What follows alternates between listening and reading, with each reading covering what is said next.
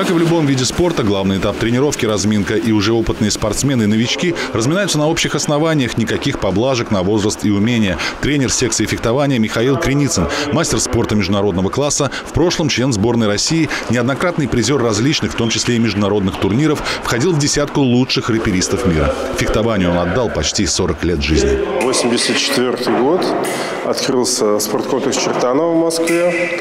А, Пришел а, в школу мой тренер первый, Родионов Виктор Анатольевич, и сделал набор, как и в сотнях э, разных вариантах в спортивных секциях.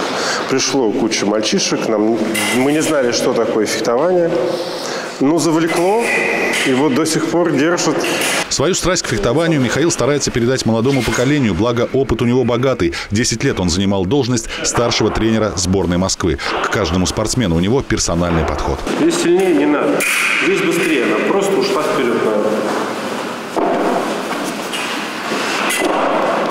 Во времена Советского Союза фехтование было весьма популярно. В наше время этот вид спорта массовым вряд ли можно назвать. Но наша сборная неизменно привозит награды с различных соревнований, а благодаря таким секциям подрастает и достойная смена. Меня отвели родители в этот спорт, и мне очень понравилось фехтование, потому что в этом спорте нужны не только физические данные, но и э, умственные способности.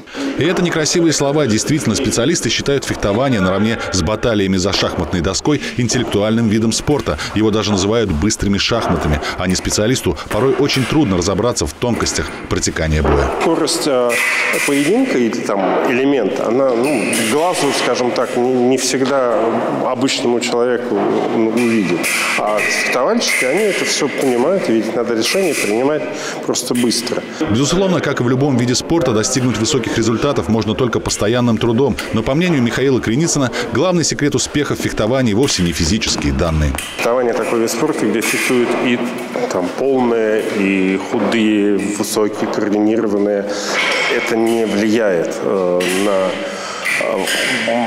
на результат, потому что с, если ты работаешь, желание приходишь на тренировки, все это как бы приходит в норму, и даже раскоординированные люди становятся чемпионами мира. Максим Козлов, Александр Логинов, Максим Константинов. Видно это.